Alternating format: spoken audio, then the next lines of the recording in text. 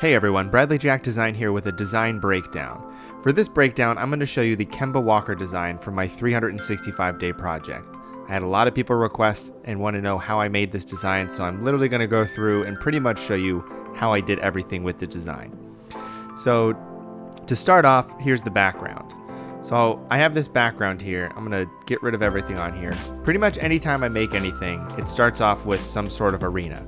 So I have the arena photo on here I threw a gradient map over it with the colors of the hornets. So if we double click this gradient map, it'll show up here the purple and then the blue that the hornets use. So everything starts off with the background. Um, on top of that, I added this screened layer that essentially just has these sort of beams of light. I have a brush set up that's just a long string brush that I can paint on um, in black since it's screen just to get rid of it, and then the, the teal color that the Hornets use. And then I mask out a little bit more of that just to add a little more texture of lighting on there. I have a vignette file that sort of adds a little vignette around the edges. Um, I have a secondary one that I threw on there that I colored purple, which then throws a sort of purple hue over the whole background. I threw the other vignette on there just to darken it up a bit. And then I actually have this sort of burst um, of dust I found on Unsplash that I have behind Kemba himself, which I've adjusted the levels to to make sure that only the white is showing through. And then I've also colored it purple with a um, color overlay of purple. I then have a color lookup adjusted to it just to add a little bit of contrast to it. Uh, the color lookup itself, you can see here, is the Kodak 5205 Fuji 3510 by Adobe um, and I have that set to soft light at 40%. It just adds a little more um, contrast to the background. For Kemba himself, there's a lot going on here. Um, as you can see, there's layers for days that are completely unlabeled, of course, because why would you label it? It's a personal project, no big deal. So here we go, we've got this photo of Kemba that I edited. So in order to make this ball look icy or look metallic, I added a curves layer to it. And as you can see, it looks insane. So what you can do with the curves is if you just kind of draw this sort of roller coaster line, it'll give you this effect. And then you can throw a gradient map on top of it to color it whatever you want. So I use the, the teal or blue that the Hornets use, and that's what color it ends up being.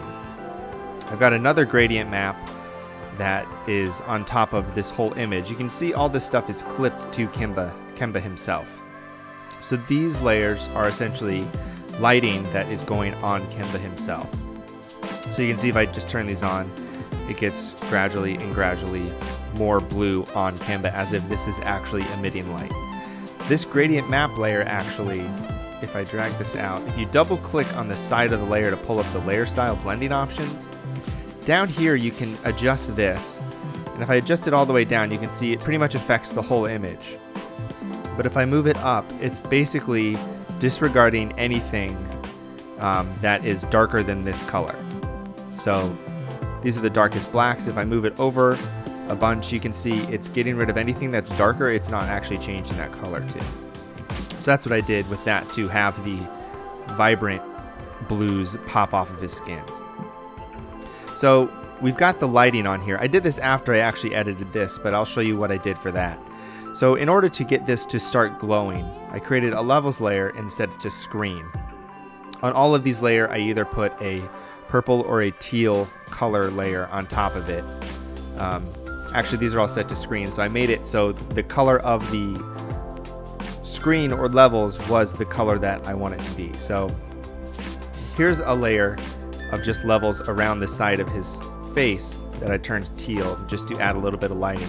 And again, this is it's mainly a bunch of tiny gradual steps that you build upon. So on top of this, I have this sort of spark layer that I have colored teal. And then on top of that, I have a levels layer. And you can see each of these layers has a different mask. Basically, I'll use a soft brush and paint back in the light. So we paint in a little bit of teal light here, we paint in a little bit of purple light here, a little more teal, a little more teal, and you can see it's starting to glow now. These are, again, are all just levels layers set to screen. And if you put a normal layer on top of it for that color, it'll make it that color. On top of that, I have this sort of fiery um, sort of graphic that I like to use. I have that set to teal um, to make it teal so it matches the, the ball the light that it's emitting. On top of that, I have another more broad levels layer that's set to teal, as you can see here. And then on top of this whole thing, I have a gradient map of the purple to blue set to hue, and it's painted out. So only a, certain parts of this are actually painted in. So if I turn that on, you can see it just sort of adds a little more purple to this area. I've got another sort of uh, highlight on there that's purple, and then one final bokeh effect over the whole image essentially that is purple. So you can see here, all of this light is emitting off of this basketball, which is why these shadows, or not these shadows, these highlights were made. I've got some other light effects on top of it as if it's emitting light itself. Um, I threw the text and logo on there. You can see it's pretty general, it's just the text, their logo, and then Kemba and his signature. Uh, the way I have his signature made is I have it set to screen. So this is what it looks like the um, signature itself. And then I have a gradient map on top of it of black and the teal color. So the white, or the actually the black of it is teal, and then the white of it is black. And then I have it set to screen. So that's how it shows up. It's an easy trick to use signatures to set them or multiply or screen to get rid of the backgrounds that they're on. Um, these are pretty simple, just text and layers on that. And then I have on here three color lookups. So I have these set um, essentially just to add a little more glue to the photo. So this one I have Foggy Night set to soft light at 30%. Uh, what's this one? This one is teal orange plus contrast, soft light to 25%. I have this one on here because a lot of movie producers or, or people who create movies, they'll add a teal and orange contrast to the image itself to make it look a little more realistic. Um, I have this set to soft light 25%. These are actually all set to soft light. The first two are. The final one is candlelight, which is set to screen at 25%, which you can see really pops out the brightness of that light. So that's the file itself. Um, so you can see I've got color lookups, the text and logo, Kemba himself, and the background. Most of the designs I make are going to be this way. There's going to be a background image, a foreground image, whatever text I have on it, and then color lookups to go on top of it. I hope this video gave you a little insight into how I make some of these designs. If you want to see other design breakdowns, comment below and let me know who you want to see next. Thanks.